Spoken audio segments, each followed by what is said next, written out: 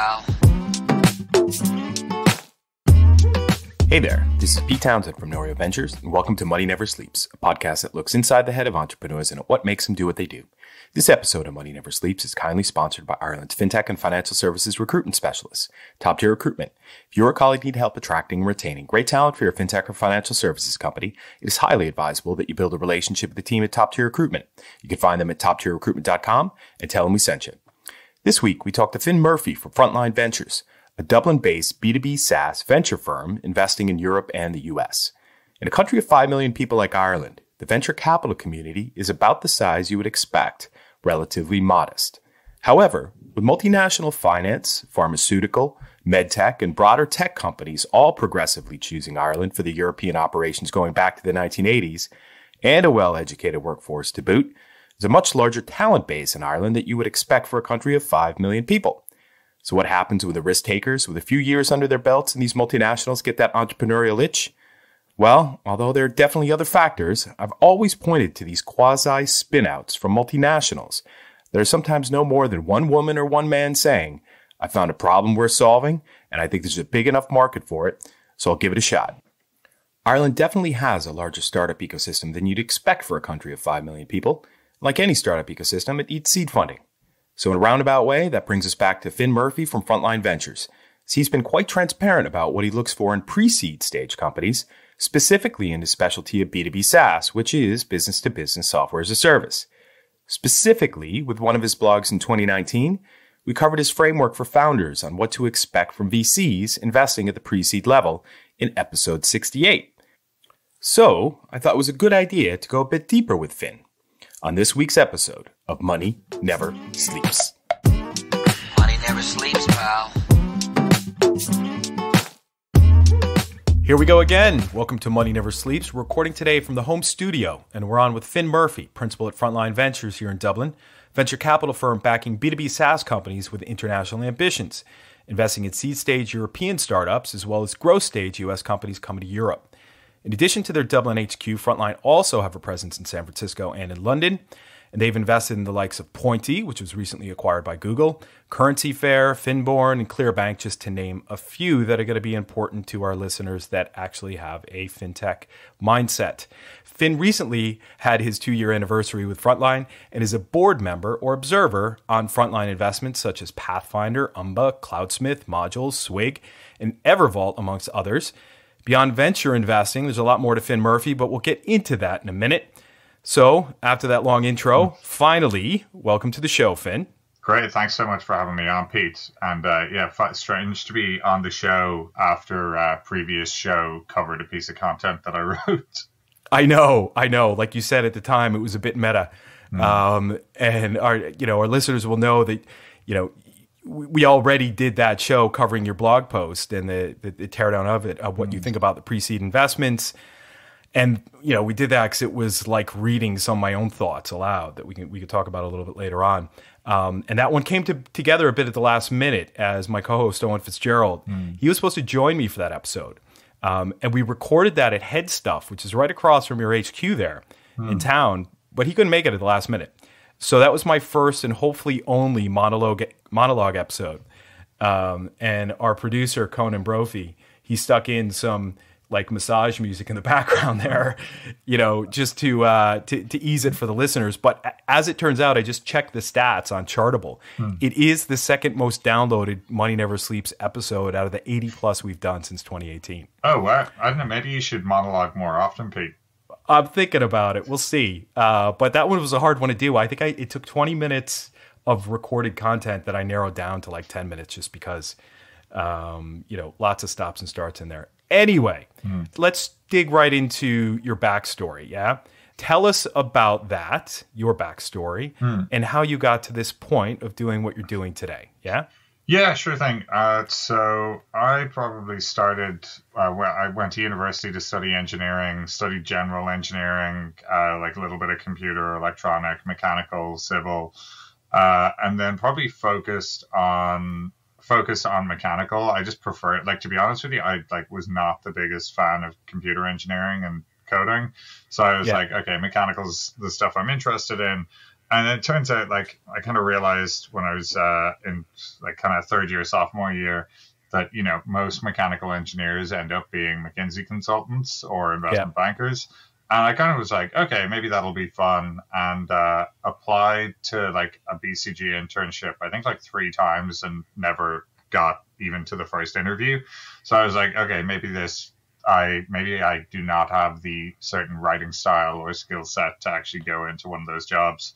So I kind of ended up getting it. I was doing a bit of side work on the side. I was organizing events, like parties, kind of trying to make cash while you're in college. And one of the, I ended up doing some work for Web Summit. And I kind of, some of it was volunteered, some of it was paid but you just kind of ended up getting exposed to that sort of tech world and like at the time venture world but like in reality i didn't even know what venture was i was just yep. really like talking to ceos talking to people running companies and i was like oh wow what you guys are doing seems pretty cool and that sort of set me down a path of like okay well like you know if all these people can do it why can't i? Uh, and you know tried a couple of different startup ideas in college. Uh, eventually managed to get one of them funded by the university. And we kind of built that business uh, as with the college we were attending as our first customer, uh, spun that out, raised a little bit of money, uh, and ran that for about a year after we graduated until we kind of came to the point of realizing that we had absolutely like no idea what we were doing or like okay. any any idea. That- well, me in me in particular had like no idea how to actually run a business. So uh, that was an interesting kind of realization where I think you think you know it's like that moment of sort of realization when you realize how little you actually know. You you know you thought you knew so much, and then you realize how little you actually know about anything. And that was uh, that was probably like one of the turning point in like kind of my entrepreneurship journey, where it's like, okay, maybe now is like maybe I need a little bit more like experience or time under my belt before I'm like really ready to do something do something interesting here. Uh, and that kind of led me to, we ended up doing a deal with another fintech business called Plink to basically kind of acquire me and my whole team. Uh, like there were only, it was me and five friends from computer science in, in Trinity. Uh, and we then all joined Plink at the same time. Around when they were raising their Series A. Uh, okay. And that was great. Like that, we we had a great time. But you know, we kind of learned hard and fast. There's again so many things that like at the time seemed seemed so sensible and so normal. And then like now having been in venture for two years, I'm like, oh my god, I can't believe we like I actually can't believe some of that shit happened. And that yeah. that all ended up kind of going sideways and you know, met like met some really interesting people and like had some made some like good friendships while we were working there. But, you know, it came to the point where that business just went totally sideways and I had to jump out. And that coincidentally uh, time timed perfectly with when Frontline were looking to hire a new member of the investment team. And they were actually at the time they were just hiring an analyst, and I was like, oh, like fuck it, why not? I might as well throw in an application. And yeah. that was yeah, that was about two years ago to around two years ago today. Wow, wow, and that that the the spinoff that you had out of the Trinity Digital ID, right? That mm. was that was ideally or idly. How do you say it? Oh yeah, ideally. Again, like I need to I think like another lesson again you learn is like don't try to be clever with the name of your startup. Like we were like, aha, it's like ID Lee. And then like literally every single person we spoke to ever was like, ah, Idly Systems. And we were like, oh God. Yeah. yeah, yeah. No, no, no. You, you you got it right on the fact that you only use four letters, mm. right? Which which is a good one but that and, and I didn't know about the Plink side of things because that's really interesting. I saw Plink on your your LinkedIn profile, but didn't really make the connection there. Um, I've met Charles a couple of times, and mm. I, I kind of know what he's up to today, but we'll we'll leave that for another conversation. So it was the analyst job that you went for. Um, you got it, obviously. Mm. But what? How did the conversations go that built that bridge for you from? Okay, you know, what I would call in the US, where, where I'm from, mm-hmm. a, a, double major in math and, and engineering, um, mm. to doing a bit with, you know, being a startup founder, doing the deal to make that part of Plink, and then, okay, then analyst in a venture firm. Tell me about that kind of that kind of bridge. Yeah, like I really had no I like I still I'm like question at times whether I have any idea what I actually want to do. Uh, Yeah. and uh, you know, I'd applied for a ton of different jobs. You know, there was when I was when I was leaving Plink, there was an option to go like work in a as a like consultant for a ton of different interesting blockchain and cryptocurrency projects. Uh, I was like interviewing for a product manager role at HubSpot. I was talking to, funnily enough, Pointy about uh, taking on kind of going in. Their head of growth was leaving, and they were looking to get someone to replace him. And I'd been doing growth at Plink, so I was kind of looking to step into that sort of like looking to step into that sort of role. And like all of those things were kind of in the pipe before I ended up getting the offer from Frontline and I like I, I I had a pretty hard time trying to decide which to do because like I had no idea really anything about venture or like what the job would be. I'd had like some interactions with Frontline and some interactions with VCs while I was running, you know, while I was running my company, and then to a lesser extent when we were at Plink. But I just didn't have the I didn't have enough knowledge to know that it was like okay, what is this actually? Like, is it a career? Is it an interesting job? And then I kind of I called a bunch of different people, and all my founder friends were like, like you know, like VC's a load of shit. Like don't Yeah. go to the don't go to the dark side. You're gonna be you know you're gonna lose your operator's edge, and you're just not gonna be able to come back to startup land. Uh, and then I spoke to a couple of more kind of senior people who've been around the block, and you know, one of them asked me, they were like, you know, what's the and at the time, you know, this was what I was like the only thing I kind of had in my head. They were like, you know, what do you want to, what do you actually want to do in the future? Like, what do you want to do after this? I was like, you know, I probably want to start my own company again. I don't know what that looks like, but like, I think I probably do want to try to build something at some point in the future. And one of the one of my mentors, who's a general partner at another kind of one of the larger funds in the UK, said, look, when you're a when you're a founder, it's that it's not like you watch the movie. It's like you're the producer the set designer the actors like you know you're the director and you pull everything together. Uh, and you get that like really rich experience from like seeing how it's all put together. But at the same time like you only get to see one you know you only get to do that on one movie.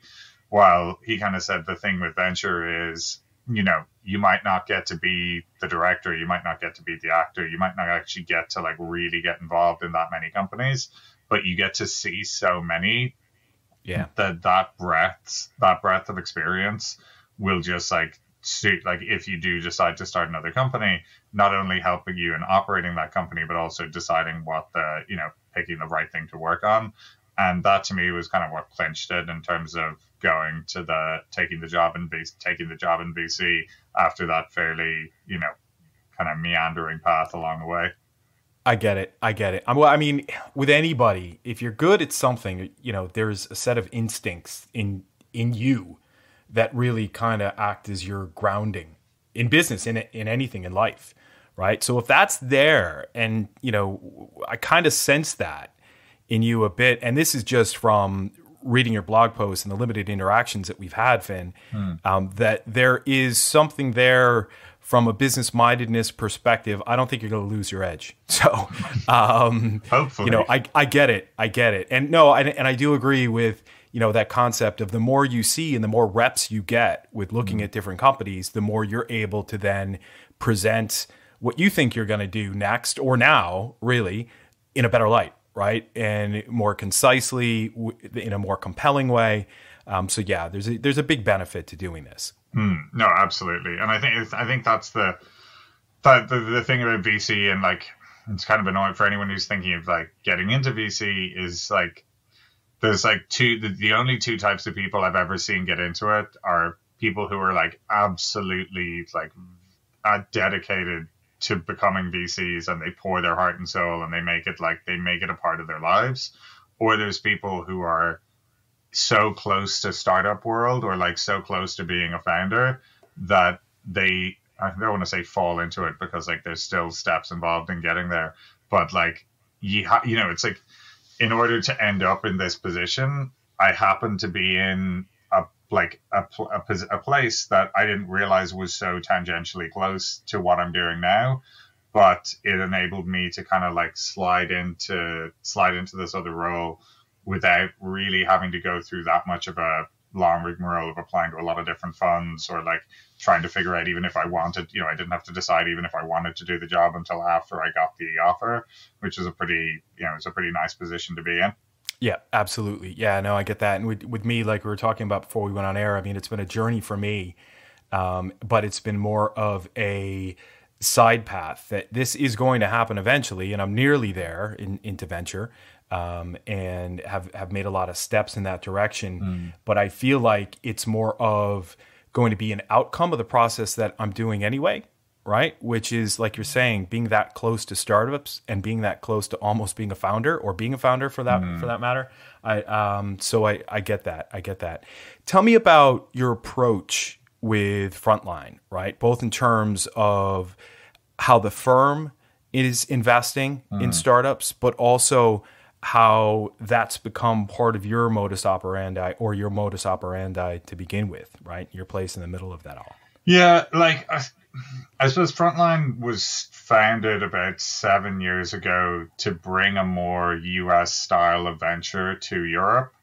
Um, you know, and I think that was, you know, that was the experience of the GPs at previous funds they'd worked in in Europe was that, you know, it was still like seven years ago, European venture was just like completely different gravy to what it is today. Like it was still like I think we still we still lag the US in some ways, but like we're we lag them by like 12 months instead of by like you know four years.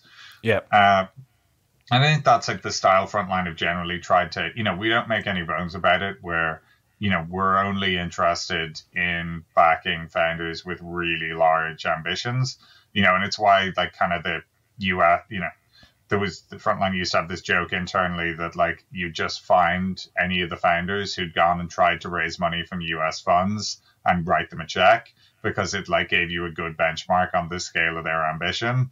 So like right. it's you know that, that that's really where we started. You know, it's like looking for people who have that like world beating you know, I might be I might be here in Ireland, I might be here in Denmark, I might be here in the UK, but like I have just as much of a shot as anyone is building one of these real like you know breakout breakout companies. Yeah, and you know that's probably why we're you know why we're a seed investor is like we're closer, we're much closer as a fund in terms of our DNA. At when we're like, you know, we feel much more comfortable when we're assessing people and we're assessing like high level markets than when we're like tearing apart financial models.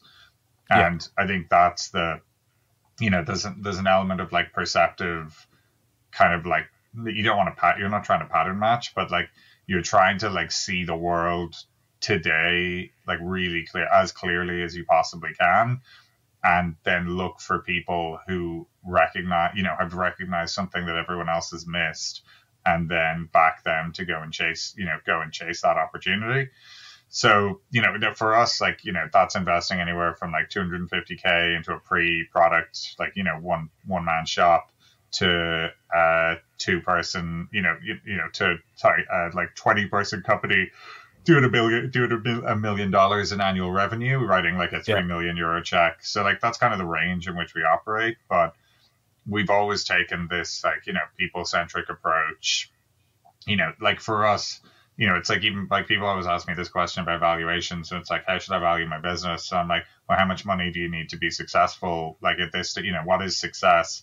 And it's like, you know, if success is getting the cash flow break even, then you know your business probably isn't for us if it's getting to strong growth metrics or a strong product, you know, pro- product proposition that enables you to raise another round of financing at a markup uh, at, a, at a pretty significant, you know, kind of like a two to three x markup, And it's like, okay, how much capital is required for you to do that?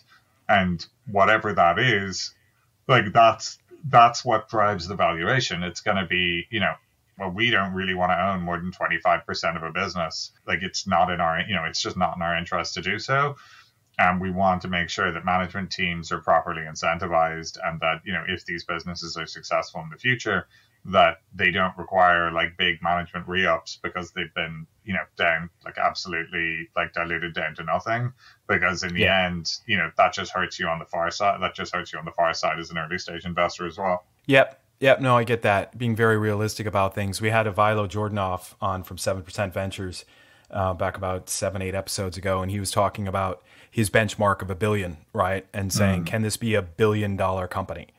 Um, and using your framework that we that we looked at, you can kind of walk back into you know going out going five years back, right? With, mm. to, to get to today, you can kind of start to get your head around what that might look like in terms of the market size as well.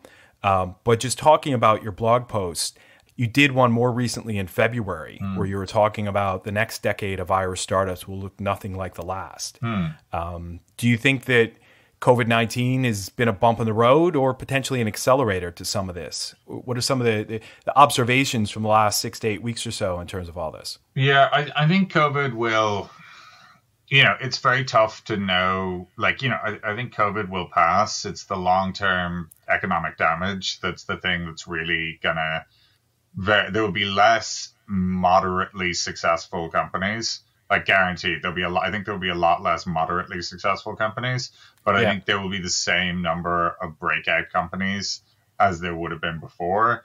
And i think that was my you know it's like i we I made this joke at a i was talking to another venture capitalist and like you know there's only been one billion dollar software I, like you know it's not even an outcome yet. There's only been one billion dollar valuation in software in Ireland in the last like eight year, you know, in the last eight nine years, and that yeah. that's Intercom. Like that's not good enough to be no to be an invest like you know as an investor if you're just investing in Ireland that means you have to be getting that like old school style ownership like you know you need to be owning like 25 30% of these companies if they're not exiting for big you know if the outcomes aren't sufficiently large so i think like my view was you know, it's really hard to be what you can't see. And like, I think progressively as the world's become more globalized and like, you know, this like secrets of Sand Hill, secrets of Silicon Valley, like stuff kind of starts to permeate more beyond the Bay Area.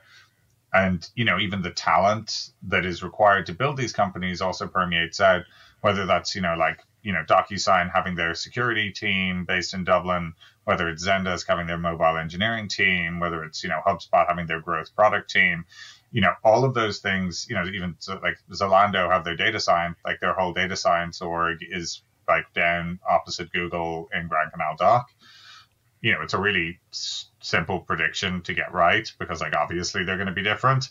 There's just like, you know, technology has moved on, business models have moved on. But I think like the difference that I see is all of the ingredients are there to produce five intercoms and it's partly you know the only thing rate limiting that is those companies access to capital which i think is a problem that's been solved by opening up of international you know kleiner kleiner greylock Accel, Index, and Sequoia all did their first, you know, early stage Irish investments in the last 12 months.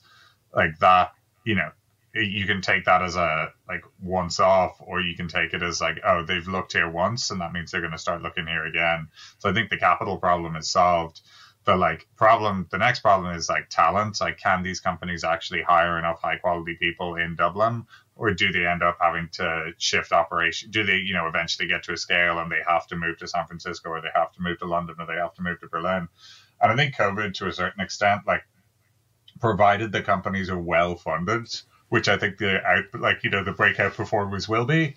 I think it it it can be you know there will there will be opportunities to hire really good people who are becoming available because their jobs are kind of either have been made redundant or you know are not necessary or companies they're working for shut down in other sector you know in other parts of the kind of technology industry. Yeah i get that. I get that. And you know that next wave happening it's continuing to develop here in Ireland, right? And you know, I always say that Ireland punches above its weight in a number of areas compared to its population, mm. especially in the financial services sector where I'm from.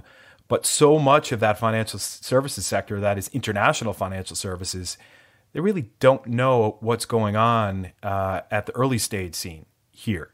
They mm. just hmm. don't see it because it's not that prevalent and it's not that readily available to see right in front of them. Hmm. Um, but it's like any small country, we are 5 million people, right? This startup ecosystem that we have here is a small part of the overall economy, a small part of the overall working world. And I think it's just, um, it's going to take time for that to develop even more. And now that all the pieces are here, it's just going to take some time to get there. do you see anything in terms of how those companies you know stay in Ireland and do grow as an Irish company versus growing as a US company or as a UK company? Mm, yeah, I, like I think there's you know there's there's going to be no choice for a lot of these companies. Like you will have to open U.S. sales offices. Like you know you may have to offer open a U.K. sales office. I think it's more like you know whether the the beating heart, so so to speak, of the company can stay in Ireland long enough, and you know you can bring in exact you can bring in an exact layer that can help build the company out. Like I, I would say the only thing the the biggest rate limiting factor on you know scale up staying in Ireland is there are like a decent amount of people in Ireland who know how to operate and run a business that's going from say one to ten, you know, going from one to ten million dollars in annual revenue. There are very, very few who know what you know how to take a business from ten to a hundred and there are basically none who know how to take a business from 100 to a billion. And i think like that's where you end up running the, to the rate limiting factor of like actual talent and expertise in operators that know how to cover those areas. So like you know it's eventually companies will come to it's like having a vp market you know have, having a great saas vp marketing. There's just almost none who have actually done it in ireland and you can take a chance on people but like you know even in terms of mentorship there's not even there's no one in the local geography. Closest people are in london. Most of the people are in new york or san francisco. And i think like this is why this generation of irish startups you know that's either a problem that continues ad infinitum or you eventually get a generation that kind of take those chances and bring in those execs and like train either train them here or move them to ireland. Uh, but it's you know that is a very I like I think that's the hardest thing to overcome in terms of these companies eventually moving their center of gravity to the US and you know the tax incentive like you know you can it's it comes down to things like tax incentives it comes down to things like housing it comes down to things like schooling. Like you know is it easier for you to convince these incredible people to move their entire lives to a different country?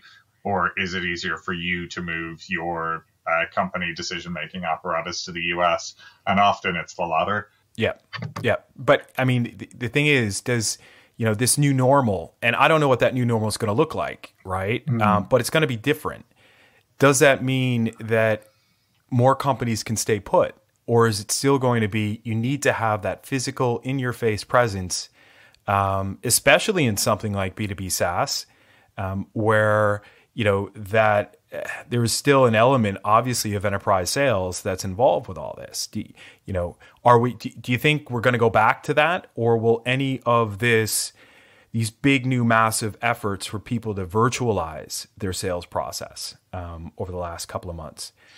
Yeah. Will that start to change things a bit? Yeah, like I, I think you know, there's the thing is, if you talk to any remote, like fully remote business, like so many of them will say it's like god i wish we could get more facetime with decision makers on our team. Um, and i think like yeah absolutely this is going to make it more likely that people like look at remote models. But i think like when it comes to running like these massive businesses at scale you know there's gitlab have shown you can do it uh, zapier have shown you you can do it.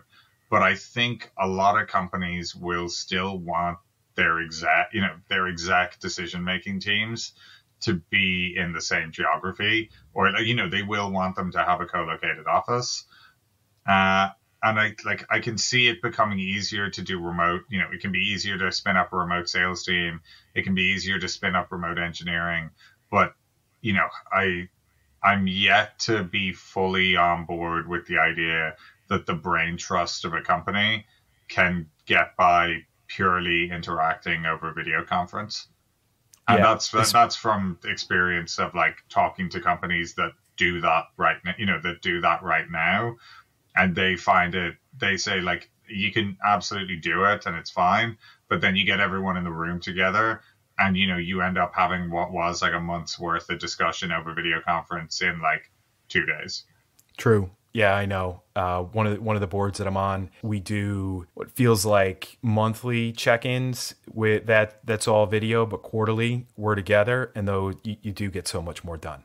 when it's face to face, when when you're actually in the same room. What do you think are, are some of the personality traits of yours that have made this work for you? And why you're still doing it after a couple of years? Um, Hmm. You know, the traits that have been helpful to you. Yeah. Um. Gosh, personality traits for me. Uh, I'm probably like prone to imagining the future. Uh, so you know, it's like I was playing chess with someone yesterday, and it's quite funny. I kind of like imagine what I would like to happen, like five, five, six moves ahead, and you know, it's like okay, when this happens, I'm going to do really well, and then completely botch the current move. Uh, and Yeah. weird, weirdly, that is actually not a terrible thing in venture. Like, you know, you kind of have to, like, all of these, like, all of these companies, there's millions of reasons why they could fail. Uh, and if you don't have that kind of like optimism and imagination to think about, like, okay, well, like, what if it all, you know, what if it all goes right? Like, what could this be if every, like, you know, if all the cards fall in their favor? And I think like that kind of like imagination and uh, like the sort of positive imagination, even if- occasionally it's to my detriment in the short term, is Yeah. useful in venture because it's generally a long term game. Uh, and you can afford to make small, you know, you can afford to make small mistakes in the short term, provided, you know, the bets that you get away and the vision that you can kind of share with these entrepreneurs can play off. Um, I suppose I'm like, yeah, I just I, I like talking to like talking to people, and I'd say I'm probably fiercely coming from a family that's like fiercely competitive. Like you need, you have to want to win. You know, in a lot of these deals, like sometimes sometimes there's you know the entrepreneurs aren't talking to anyone else, and you get to just like spend a lot of time like imagining what the future looks like with them, like you know quizzing them on their goals, like quizzing them on their team, quizzing them on their plans. And you know, you can get really comfortable and you can just decide to do a deal together and there's no competitive nature of it at all.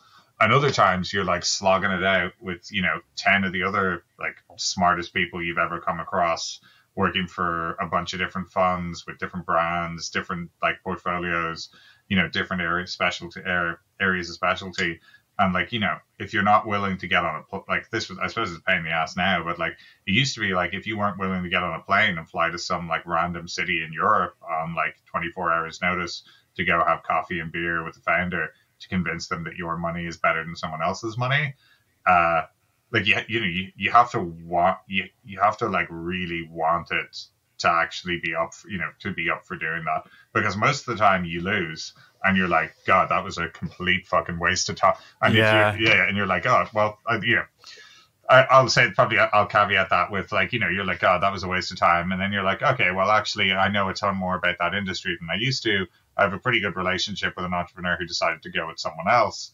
But like I still know that entrepreneur. And like hopefully if they're successful you know maybe they'll have people who work for them who start companies in the future and you know they'll send they'll send them my way.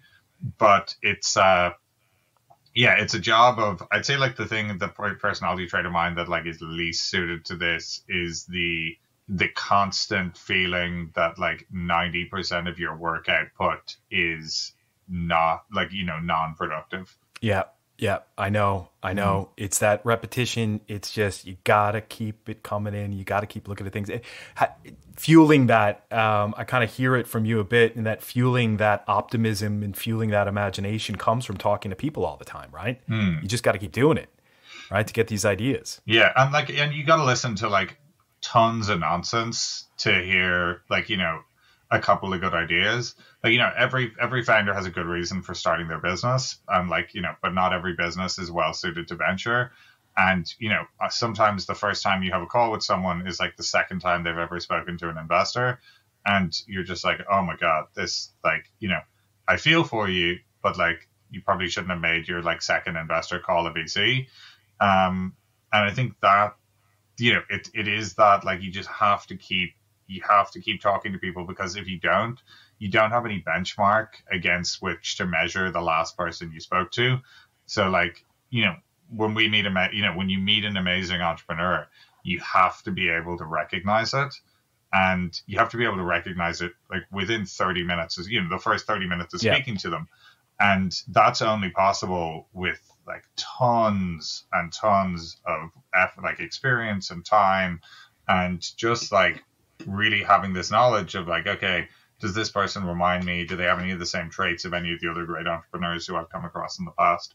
I gotcha. I gotcha. That makes sense. Yeah. I, and, you know, like we are saying earlier, being in the same room as somebody adds that little more bit more oomph to mm. your ability to read somebody. And when you see the, I don't know, not you're, you're not that you're getting that close to them, but where you see the the hairs on their arms start to stand up when you mm-hmm. say something specifically to them, or you can see their their eyes move a bit. Can't always see that on camera. That makes a big difference. In terms of in terms of venture overall, with with doing all of these things, talking to so many people, looking at so many decks, having so many conversations about investing and doing deals, sometimes you can kind of um, get lost in it a bit. But when you step back to kind of get a different perspective on things. Who do you lean on? Yeah, I suppose like I'm quite lucky in Frontline where we've a pretty, you know, we've a good team of people with like varied backgrounds and experiences. Um, but like, you know, often it's like I'll even just talk to other kind of young VCs. I'll talk to friends of mine who are founders. And, you know, it's like I, I think the thing is like for anyone outside the like startup venture ecosystem, like you know i like i remember sitting with a bunch of friends and i was talking about like the uber ipo and the numbers and they were just like man shut you know shut up like nobody cares about tech. Yeah. And like it's like i think this is the thing that like tech people like sometimes have a you know you can see it on twitter where it's like there's like an unbelievable sense of self-importance because it's like well you know the five most companies in the s&p 500 are tech companies. And i'm like yeah like that doesn't necessarily mean that people give a shit about like our network infra like you know network infrastructure seed investments. And i think that's the thing like when you're leaning on people you kind of have to lean on people within the industry because it is like you know it's niche and it's like finding people i think if you talk if you don't talk to people who are also as in it or like as involved in it as you are it can be you know people just be like this is complete like gibberish and nonsense so I try to focus on, you know, it's like keep like your work to, you know, have like the group of people who you can rely on to talk about work and like talk about like what you think is interesting, what you think is not, you know, what you think is not interesting, like who are the, you know, who are the best entrepreneurs you've met recently, but then like kind of separate that from, you know, general life. Because the one thing I kind of been that was told, like, you know, VC is one of those professions that like becomes a part of like you know, it becomes like part of your personality where it's like, oh yeah, they're a VC, or like, you know, oh yeah, they're a lawyer, or oh yeah, they're an account, you know, investment banker. And I think like you want to be able to have that network of people you can lean on for work stuff without kind of making it all consuming and have like every social conversation and interaction you have being about like what do you think about quantum computing yeah yeah i know what you mean i, I got i got a good friend uh, that the industry that he's in, I am working with startups that are going to completely revolutionize that industry, right? Mm. He doesn't even want to hear about it. He just doesn't care. Mm. He likes doing business with people. He doesn't care about the tech side of things um, or the, you know, uh, things like transformation. Um, and so, you know what we talk about? Sushi, right? Yeah. just bring it back to sushi, sushi and beer, man. Mm. Um, so, you know, I, I, there, there are things I could bounce off him, but it's just like, you know, uh, let's not even bother. So I so I lean on him for other things, right? Mm. Um, Finn, looking at your LinkedIn profile, I learned a bunch of stuff that I didn't know about you. Mm. And I'm not even sure if you know that some of that stuff is all out there, and I'm not going to go through it. But tell us, just to wrap up, what's one thing that people wouldn't expect to know about Finn Murphy? Uh, what would they not expect to know about? You know, it's ret- retrospectively, you know, it's you'd look at my LinkedIn, you'd be like, oh, this is like a kind of like obvious path for you know this is like you know obviously he was like wanted to get into startups and like wanted to do this and you know wanted to be a VC or be a founder or whatever. And like in reality like I had no like I like very little interest in like obviously like I like used my computer a lot did a little bit of coding played a ton of Xbox but like I wasn't like interested in tech until like two things. I kind of like watched the social network and I was like oh Mark Zuckerberg's a billionaire. Facebook's yeah. cool I'll do that. And then I was on a pub crawl working for Web Summit. Like I was, I was organizing like you know, ten euro in on the door of student nightclub nights. Like this was not like tech, the height of entrepreneurship. Like you, like you know, I basically like you were going out so often that you basically be like, well, I need to take up a hobby. So you'd like fluctuate between drinking and smoking and like standing yeah. on the door. And, you know, then I was doing that one night with a bunch of VCs and CEOs. And like, I was just talking to them all and I was like, you people are all really normal. And apparently you're all billionaires. So like, obviously this isn't that hard. So like, which like retrospectively, like now that I'm in it, I'm like, okay, that's that I was I was probably wrong there. But like yeah, I think that was the thing. Like I wasn't that like it was external factors that like retrospectively seemed kind of silly and obvious that like steered me towards making a series of small decisions that got me to where I am.